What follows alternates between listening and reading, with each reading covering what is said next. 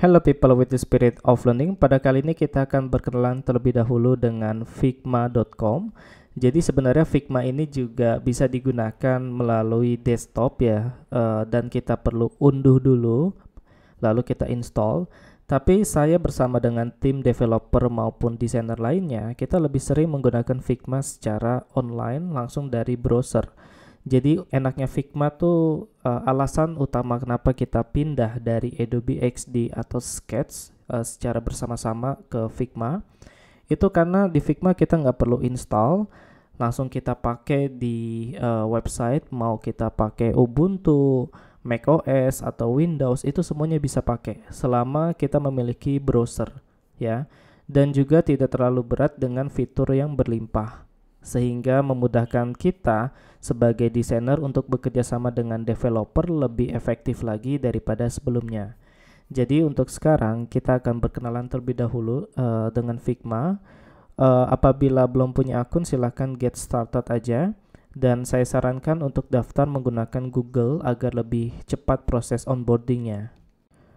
Oke, setelah berhasil daftar account, uh, kita akan diarahkan kepada halaman dashboard ya. Apabila teman-teman uh, tidak diarahkan langsung kepada halaman dashboard, mungkin eh, teman-teman uh, perlu mengisi survei sederhana terlebih dahulu.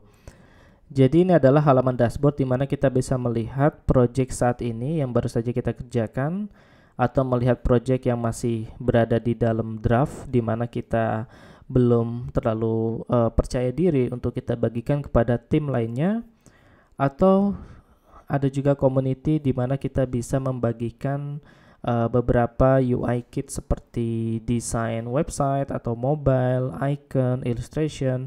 Nah, contohnya tuh di sini misalnya saya cari BWA, lalu kita cari creators. Nah, ini paling atas ya.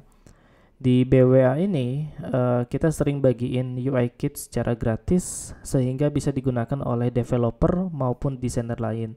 Dan ini bagus komunitas Figma ini untuk meningkatkan uh, personal branding kita sehingga kita bisa dikenal lebih jauh lagi dan mendapatkan project freelance.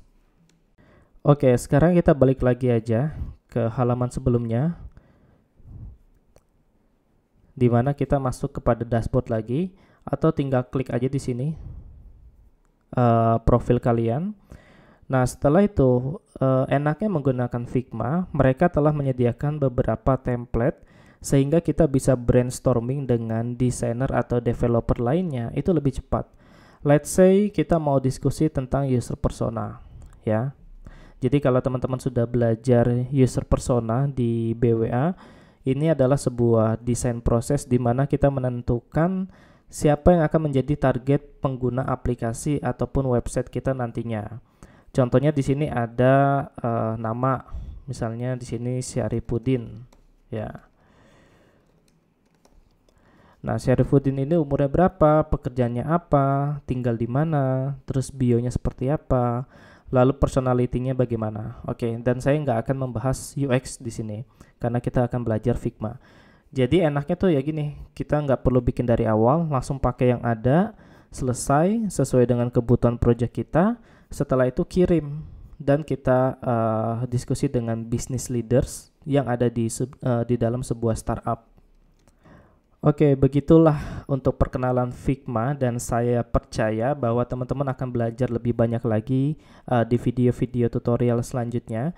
Jadi untuk sekarang ya let's take it easy. Kita udah berhasil daftar, kita mengenal apa ada hal apa aja di Figma dan ke depannya kita akan coba untuk membuat project terbaru.